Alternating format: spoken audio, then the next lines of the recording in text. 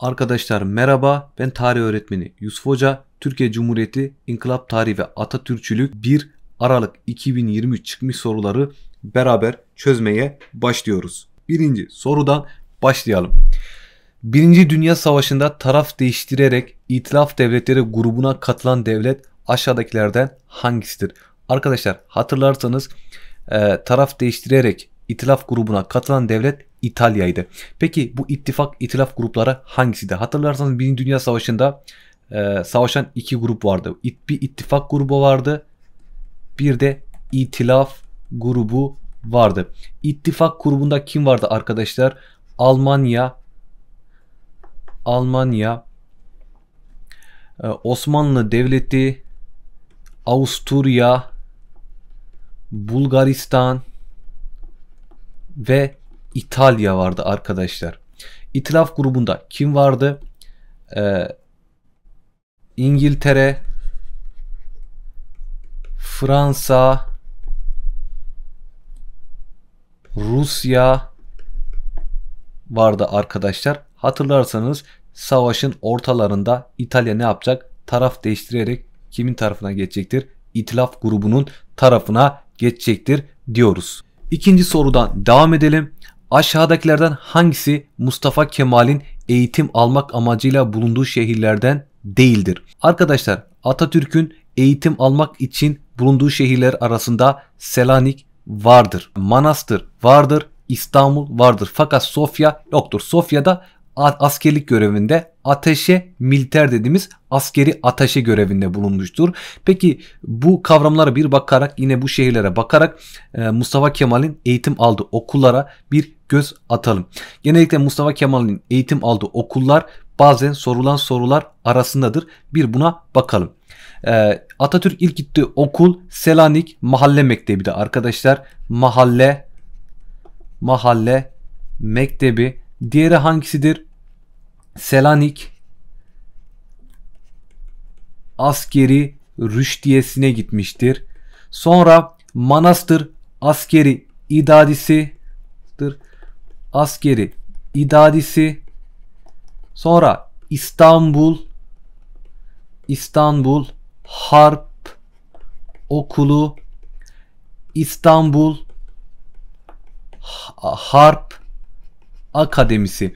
Bunlar nedir arkadaşlar? Atatürk'ün eğitim aldığı yani Mustafa Kemal Atatürk'ün eğitim aldığı askeri kurumlardır. Peki Atatürk İstanbul Harp Akademisi'nden mezun olduktan sonra ne olmuştur arkadaşlar? Arkadaşlar kurmay yüzbaşı kurmay yüzbaşı rütbesiyle Suriye'de görev almıştır. Atatürk mezun olur olmaz kurmay yüzbaşı rütbesiyle görev almış. İlk görev yeri de neresidir arkadaşlar? Suriye'dir diyoruz. Ee, peki ne demiştik? Sofya'da ise askeri e, ataşe görevinde bulunmuştur diyoruz. Yani cevabımız ne olacak arkadaşlar? Sofya. Sofya'da askeri eğitim almamıştır. Eğitim amacıyla Sofya'da bulunmamıştır arkadaşlar. Üçüncü sorudan devam edelim. Bu bilgiler milli mücadelenin kadın kahramanlarından hangisine aittir? İnebolu'dan Kastamonu'ya cephane ve erzak taşırken Kastamonu yakınındaki kışlada donarak şehit olmuştur. Kendi yorganını taşıdığı cephanenin üstüne örtecek kadar fedakar bir kişi olduğu bilinmektedir. Bu bilgiler milli mücadelenin kadın kahramanlarından hangisine aittir? Evet arkadaşlar bildiğiniz gibi bu isim önemli bir isimdir. Şerife Bacı'dır. Dördüncü sorudan devam edelim. Aşağıdakilerden hangisi Erzurum Kongresi'nde alınan karar, kararlardandır? Arkadaşlar baktığımız zaman e, Anadolu ve Rumeli Müdafaa Hukuk Cemiyeti İstanbul hükümetince tanınacaktır. Arkadaşlar bu karar Amasya görüşmelerinde Amasya görüşmelerinde ele alınmıştır. Tamam mı arkadaşlar? Ee, B'deki itilaf devletleriyle yapılacak barış görüşmelerinde temsil heyetini heyetinin de uygun gördüğü temsilciler gönderilecektir. Yine bu arkadaşlar Amasya görüşmelerinde Amasya görüşmelerinde ele alınan bir konudur. Ulusu, ulusal direnişin sesini duyuracak olan İrade-i Milliye adında bir gazete çıkarılacaktır. Arkadaşlar bu da aynı şekilde bu Sivas Kongresi'nde Kongresi'nde kabul edilen bir karardır. Fakat arkadaşlar Mebusan meclisinin derhal toplanmasına ve hükümet işlerinin meclis denetimi altında yürütülmesine çalışılması kararı nerede alınmıştır? Erzurum Kongresi'nde alınmıştır diyoruz. Cevabımız ne olacak arkadaşlar? Denizli olacaktır diyoruz. Peki yukarıda Amasya görüşmeleri dedik. Bu Amasya görüşmeleri ne arkadaşım? Şimdi e, hatırlarsanız Sivas Kongresi'nden sonra e, Anadolu'da Milli Mücadele Hareketi başlamıştı hatırlarsınız arkadaşlar. Bunun üzerine Milli Mücadele Hareketi'nin başını kim çekiyordu?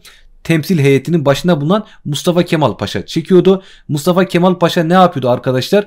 İstanbul hükümeti aracılığıyla ne yapmak istiyordu? Padişahla görüşmek istiyordu. Fakat ne yapacaklardı? Mustafa Kemal Paşa'nın gönderdiği telgrafları padişaha ulaşmasını Damat Ferit Paşa hükümeti yani İstanbul hükümetini temsil eden Damat Ferit Paşa hükümeti engelleyecektir. Bunun üzerine Mustafa Kemal Paşa ne yapacaktır arkadaşlar?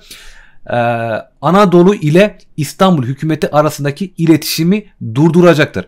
Anadolu ile iletişimin kesilmesi üzerine arkadaşlar ne olacaktır? İstanbul hükümetini temsil eden Damat Ferit Paşa hükümeti istifa edecek ve bunun yerine e, Anadolu hareketine yani milli mücadele hareketine temsil heyetine sıcak bakan Ali Rıza Paşa hükümeti kurulacaktır.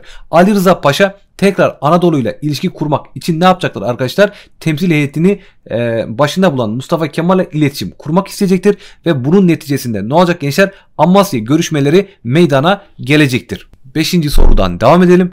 Aşağıdakilerden hangisi Amasya genelgesi ile ilgili yanlış bir bilgidir? Arkadaşlar Sivas'ta milli bir kongrenin toplanması Amasya genelgesinde alınan e, bildirisine yer alan bir bilgidir arkadaşlar.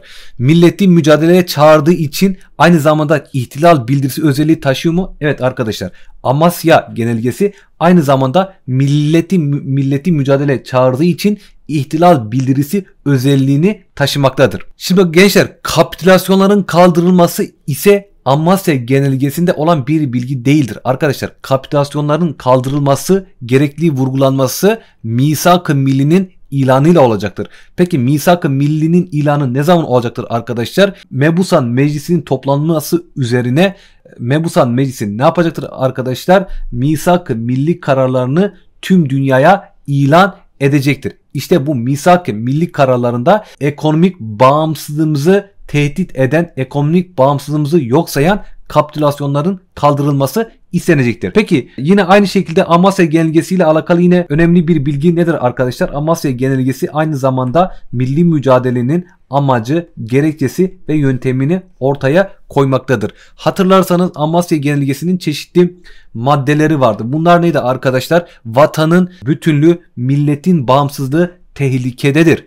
İstanbul hükümeti üzerine düşen vazifeyi yapmamaktadır. Bu durum milletimizi aciz göstermektedir. Yine milletin düştüğü bu durumdan yine milletin azim ve kararı kurtaracaktır. Maddeleri işte arkadaşlar milli mücadelenin amacı, gerekçesi ve yöntemini açıklamaktadır diyoruz.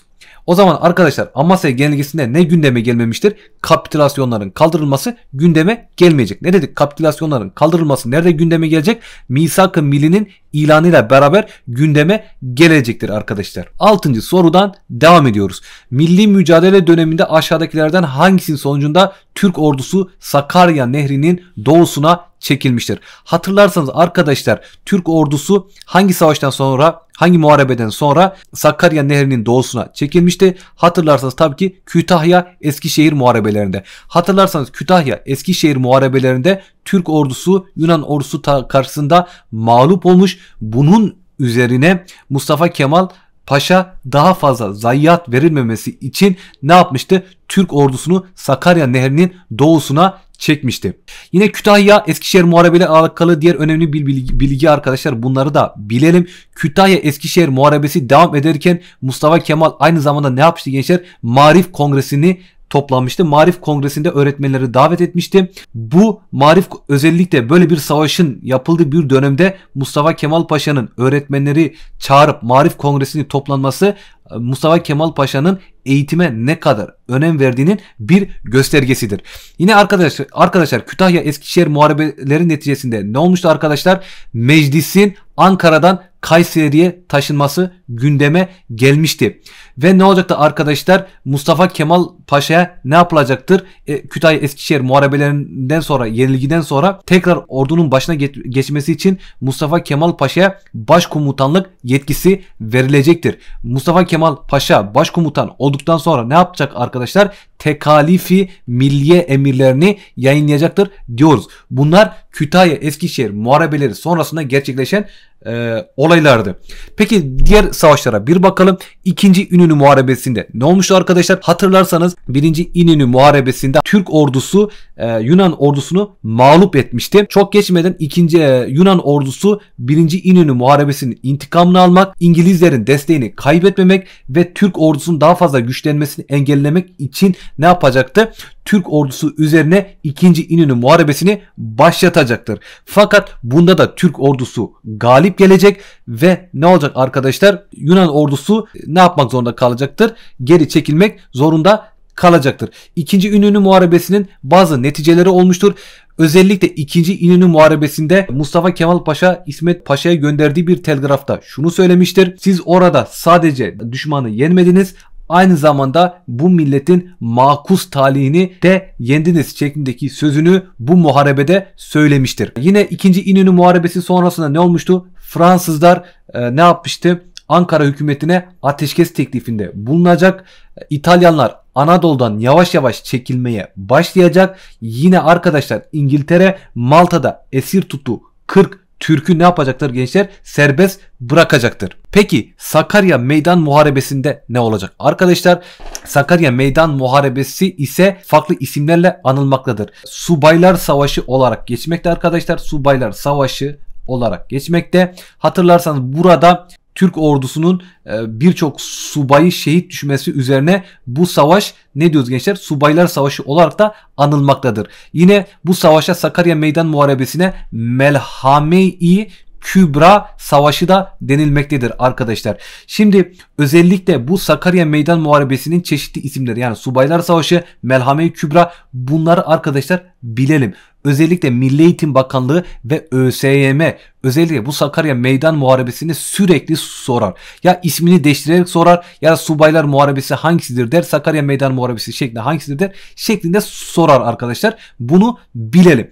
Peki Sakarya Meydan Muharebesi'nden sonra ne olmuştu? Arkadaşlar hatırlarsanız Sakarya Meydan Muharebesi muharebesini Türk ordusu ne yapmıştı arkadaşlar? E, Yunan ordusuna karşı galip olmuştu. Sakarya Meydan Muharebesiyle arkadaşlar bak bu çok önemli bir bilgi. Sakarya Meydan Muharebesiyle e, ile 1683 yılından itibaren ikinci Viyana kuşatmasından e, beri başlayan Türklerin geri çekilmesi yani e, savunma durumunda olması durumu bitecektir ve Türkler Sakarya Meydan Muharebesi'nden sonra ne olacak arkadaşlar? Hatırlarsanız taarruz durumuna geçecektir. Yani savunmadan taarruz durumuna geçecektir. Çünkü hatırlarsanız 1683'te Osmanlı'nın e, Viyana'da e, ikinci Viyana kuşatmasında yenilmesi üzerine sürekli geri çekilmek zorunda kalmıştı. Bu nerede sona erecek arkadaşlar? Sakarya Meydan Muharebesi'nde sona erecektir arkadaşlar. Peki Sakarya Meydan Muharebesi'nde meydana gelen diğer gelişmeler ne olmuştu? Sonuçları nelerdi arkadaşlar? Yine Sakarya Meydan Muharebesi'nde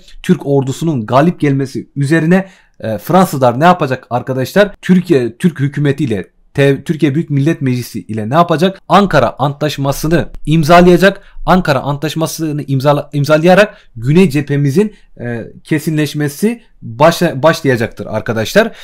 Yine Sakarya Meydan Muharebesi de arkadaşlar ne olmuştu? Mustafa Kemal Paşa'ya mareşallik ve gazilik rütbesi verilecektir arkadaşlar. Peki e, Başkomutanlık Meydan Muharebesi'nde ne olmuştu? Arkadaşlar hatırlarsanız e, Sakarya Meydan Muharebesi'nde Türk ordusu kesin galip gelmişti ve Mustafa Kemal Paşa ne yapmıştı arkadaşlar? Bir yıllık bir hazırlık sürecine girmişti. Tekalifi Milliye Emirleri doğrultusunda başkomutanlığın kendisi yetkileri verdiği, e, verdiği başkomutanlığın kendisine verdiği yetkiler doğrultusunda Türk ordusunu ne yapmıştı arkadaşlar?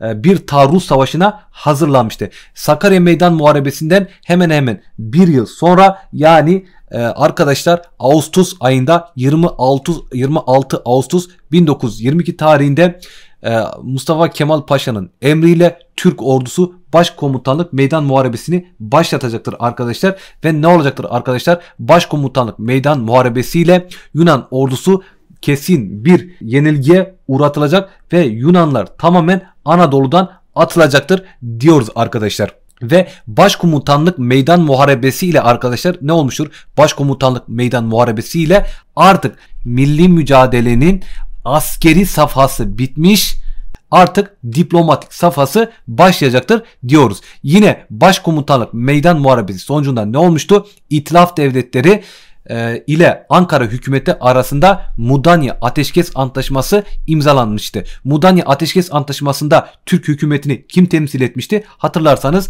İsmet Paşa temsil etmişti diyoruz. Bir de arkadaşlar şu sıralamaya dikkat ediyoruz. Özellikle Batı cephesinde meydana gelen savaşlar hangileridir? Şu sıralamaya dikkat edelim. Birinci İnönü Muharebesi, bazen kronolojide soru, sorulabilir. Birinci İnönü Muharebesi, Muharebesi, ikinci İnönü Muharebesi, Kütahya ve Eskişehir Muharebeleri, Kütahya ve Eskişehir muharebe, muharebeleri, bir sonraki savaş Sakarya Meydan Muharebesidir. Bir sonraki savaş ise Başkomutanlık Meydan Muharebesidir diyoruz arkadaşlar. Devam edelim. Atatürk Orman Çiftliği ve Zirai Kredi Kooperatifleri hangi alanda çalışmalar yapması için kurulmuştur? Arkadaşlar hatırlarsanız bak burada zirai kelime. Zira nedir? Ziraat nedir arkadaşlar? Tarımla alakalı bir kavramdır. O zaman ne diyoruz? Ee, Atatürk Orman Çiftliği ve Zirai Kredi Kooperatifleri hangi alanda çalışmalar yapılması için kurulacaktır? Tabii ki tarımsal alanda çalışmaların yapılması için kurulacaktır diyoruz. 8. sorudan devam ediyoruz. Türkiye'de her yıl 12-19 Aralık'ın tasarruf ve yerli malı haftası olarak kutlanmasına neden olan gelişme aşağıdakilerden hangisidir? Tabii ki arkadaşlar tasarruf ve yerli malı haftası e, hangi gelişmenin neticesinde ilan edilecektir? Tabii ki 1929 ee, ekonomik bu e, dünya ekonomik e, bunalımının yaşanması neticesinde meydana gelecektir. Peki bu 1929 dünya ekonomik bunalım ne arkadaşlar? Hatırlarsanız Amerika'da başlayan ekonomik kriz bütün dünyayı etkisi altına almıştı. Bu ekonomik kriz aynı zamanda Türkiye'yi de etkileyecektir. Bunun neticesinde çeşitli tedbirler alınacaktır arkadaşlar. Peki diğer e, maddelere bir bakalım. Birinci 5 yıllık sanayi planının uygulanması. Arkadaşlar hatırlarsanız Türkiye Cumhuriyeti Devleti Cumhuriyet kurulduktan sonra ekonomi politikası ne oluşturacaktır? Özellikle 1930 yıllardan sonra e, hatırlarsanız 1929 dünya ekonomik bunalımı Türkiye ciddi manada etkilemişti. Ve aynı zamanda arkadaşlar hatırlarsanız e, savaştan yeni çıkmış bir devletsin. Cumhuriyeti yeni kurmuşsun e, düşün senin e, halkının elinde para yok. Yani özel sermaye yok. Özel sermaye yetersiz. Özel sermaye fabrika kuramıyor. Yol yapamıyor. işte e, yatırımlar yapamıyor. E, e, yani özel sermayenin elinde bir para yok. İyi bu yatırımları fabrikalar kim açacak arkadaşlar? Bu görev kim yapmak zorunda kalacaktır? Devlet yapmak zorunda kalacaktır. Özellikle sanayi alandaki fabrikalar kim yapmak zorunda kalacak? Devlet yapmak zorunda kalacak. İşte bu yatırımların planlı bir şekilde yapılması için devlet ne yapacak arkadaşlar? Birinci 5 yıllık sanayi planını uygulamaya koyacak arkadaşlar. Peki Milli Koruma Kanunu nedir arkadaşlar? Hatırlarsanız 2. Dünya Savaşı sürecinde e, Türkiye Cumhuriyeti de e, ciddi manada ekonomik sıkıntılar yaşamıştı. Şimdi e, Türkiye ne yapmak istiyordu? Bu ekonomik sıkıntılarla baş etmek için ne yapacaktı arkadaşlar? Hükümete ne etkisi verecekti arkadaşlar? Hükümete e, ekonomiye doğrudan müdahale etme etkisi verecekti. İşte Milli Koruma Kanunu ile hükümetin doğrudan ekonomi üzerine yani ekonomi e, müdahale et, etme yetkisini e, kendi, e, yetkisini vermesine biz ne diyoruz arkadaşlar? Milli Koruma Kanunu diyoruz. Diğer şeye bakalım. Denizde İkinci Dünya Savaşı'nın başlaması arkadaşlar e, İkinci Dünya Savaşı'nın başlaması hatırlarsanız 1900 39 yılında olan bir gelişmedir. 9. sorudan devam edelim. Atatürk'ün medeniyet yolunda başarı yenileşmeye bağlıdır. Sosyal hayatta, ekonomik hayatta, ilim ve fen sahasında başarılı olmak için tek gelişme, ilerleme yolu budur. Hayat ve geç, geçimi egemen olan kuralların zaman ile değişme, gelişme ve yenilenmesi zorunludur. Sözleri aşağıdaki ilkelerden hangisinin önemini vurgulamaktadır? Arkadaşlar dikkat ettiyseniz ilerleme, gelişme, değişme, gelişme, yenilenme, yenilenme bu kavramlar sizce neyle alakalı olur? Tabii ki inkılapçılıkla. İnkılapçılık neyle alakalıdır gençler? Tabii ki yenileşme ile alakalı bir durumdur. Bu Atatürk'ün inkılapçılık ilkesiyle açıklanır diyoruz. 10. sorudan devam edelim. İtalya'da Mussolini tarafından oluşturulan otoriter devlet anlayışı üzerine kurulu siyasi ideolojiye verilen isim aşağıdakilerden hangisidir? Arkadaşlar tabii ki İtalya'da Mussolini egemenliğinde İtalya'da egemen olan siyasi e, ideoloji hangisidir arkadaşlar? Tabii ki faşizmdir. Peki diğer kavramlara bir bakalım. Nazizm neydi arkadaşlar? Nazizm e, Hitler e, liderliğinde Alman Nasyonel Sosyalist Partisi'nin iktidara gelmesiyle beraber Almanya'da egemen olacak siyasi ideoloji hangisidir? Nazizm anlayışıdır diyoruz. Peki komünizm neydi arkadaşlar? Komünizm arkadaşlar üretim ve tüketim araçlarının tüm toplum tarafından eşit şekilde paylaştırılması anlayışına dayanır. Yani sınıfı olmayan sınıfsız bir toplum yaratmaktır. Komünizmin temel amacı. Kapitalizm nedir? Kapitalizm ise arkadaşlar üretim ve tüketim araçları yani tam zıttı üretim ve tüketim araçlarının e, özel sermaye tarafından kar amacı güderek sadece özel sermaye tarafından kullanılmasıdır. Bu da neyi ifade eder geçer? Kapitalizmi ifade eder diyoruz. 11. sorudan devam edelim. Aşağıdakilerden hangisi Milletler Cemiyeti ile ilgili yanlış bir bilgidir? Arkadaşlar e, Cenevre şehrinde kurulmuştur. Evet Milletler Cemiyeti Cenevre şehrinde kurulmuştur. Bu doğru bir bilgidir. E, Bolu'da kurulma kararı Paris Barış Konferansı'nda alınmıştır. Bu da doğru bir bilgidir. E, Milletler Cemiyeti'nin kuruluş e, kararı nerede almıştı? Paris Barış Konferansı'nda alınmıştı. Wilson ilkeleri esas alınarak kuru oluşturulmuştu. Evet arkadaşlar ne olmuştu? Ee, Birinci Dünya Savaşı'nın sonuna doğru Amerika Başbakanı ne yapmıştı? Wilson prensipleri adında kendi adıyla anılan Wilson prensiplerini yayınlamıştı. Bu prensipler doğrultusunda e, uluslararası barışı sağlayacak bir milletler cemiyetinin kurulmasını istiyordu. Yani Wilson ilkeleri esas alınarak oluşturulmuştur. Bilgisi de doğrudur. Fakat 2. Dünya Savaşı'ndan sonra kurulmuştur. Bilgisi yanlıştır arkadaşlar. Milletler Cemiyeti 2. Dünya Savaşı'ndan sonra değil 1. Dünya Savaşı'ndan sonra kurulmuştur. Peki 2. Dünya Savaşı'ndan sonra kurulacak teşkilat hangisidir? Birleşmiş Birleşmiş Milletler Teşkilatı'dır diyoruz arkadaşlar. Ee, arkadaşlar inkılap tarihi ve Atatürkçülük bir e, Aralık çıkmış soruları beraber çözdük. İnkılap tarihi iki sorularını ise bir sonraki videoda beraber çözmeye devam edeceğiz. Ee, görüşmek üzere kendinize iyi bakın.